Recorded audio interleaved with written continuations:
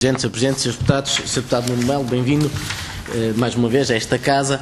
Nós eh, partimos nesta comissão de inquérito de um, de um ponto eh, e acho que não, não, devemos perder tempo a voltar ao passado e, e não temos aqui grande preocupação relativamente a, a, esse ponto. O ponto e o contexto que nós partimos é das conclusões das comissões de inquérito que uh, chegaram às conclusões que chegaram e que disseram que provavelmente tratou-se de um atentado e, portanto, que houve uma mão que provocou aquele acidente e, portanto, provavelmente tratou-se de um atentado. É esse o ponto que partimos.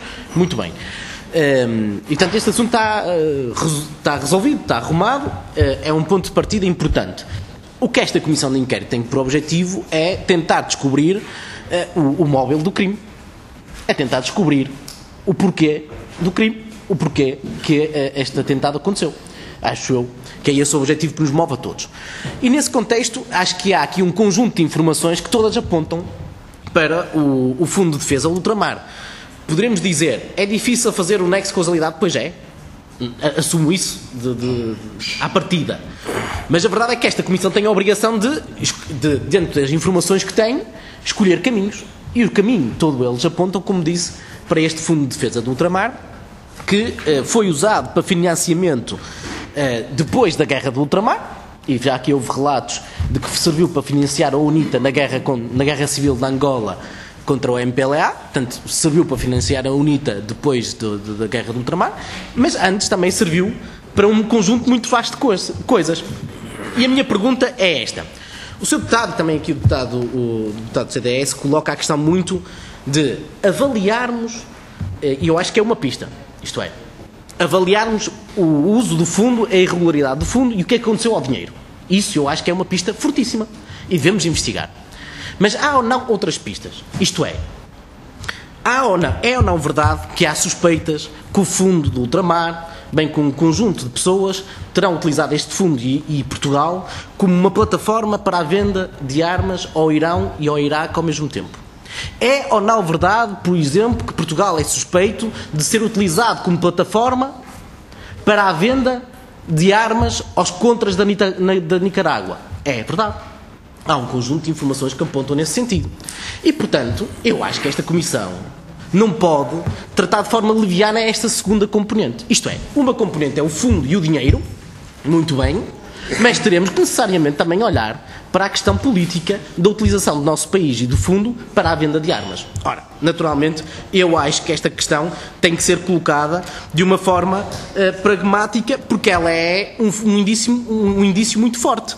Um, a verdade é que, e aqui uh, uh, louvar o papel da de Adelino Amaro da Costa, eh, nós sabemos que uh, o, primeiro-ministro Francisco Sá Carneiro entra no avião um bocado por acaso, não é? Quem lê os documentos percebe que há aqui um, um, infeliz incidente dele utilizar aquele avião, quase uh, não estava previsto, não estava programado, iria utilizar um outro avião da TAP e ele entra naquele avião um bocado por acaso. E, portanto, a, a figura central será Adelina Mar da Costa, no provável atentado, certo?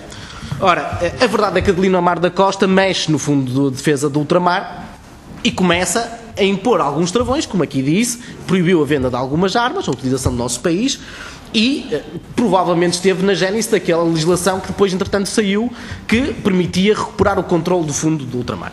E, portanto, eu acho que a pergunta que eu colocava era se eh, esta componente de, de suspeita, de, de informação, deve ou não ser averiguada por esta Comissão. Isto é, a utilização do nosso país como plataforma de venda de armas e a utilização do fundo de, de, do, do, ultramar para a venda destas, destas armas a estes países, nomeadamente com o envolvimento da CIA e do embaixador dos Estados Unidos em Portugal na altura, Harry Kissinger, se deve ou não ser averiguada nessa plataforma. Eu acho que é uma informação brutal e deve ser considerada.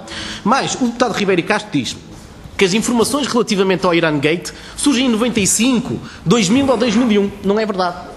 O PCP apresentou eh, um projeto de resolução para a criação de uma comissão de inquérito nesta Assembleia da República, que foi aprovada, uma resolução que foi aprovada em 31 de março de 1987, que tinha como objetivo o seguinte: uma comissão de inquérito para apurar toda a extensão e conduta das entidades portuguesas intervenientes na venda de armas e desvios de fundos e material de guerra no quadro da operação secreta conhecida pela designação Iran Gate, determinando em especial as condições em que pode ocorrer a utilização por potências estrangeiras para tais finalidades, os portos, aeroportos e empresas nacionais, bem como as responsabilidades do Governo e da Administração Pública em todo este processo. Isto é, nós consideramos que era importante investigar esta componente de, destes factos.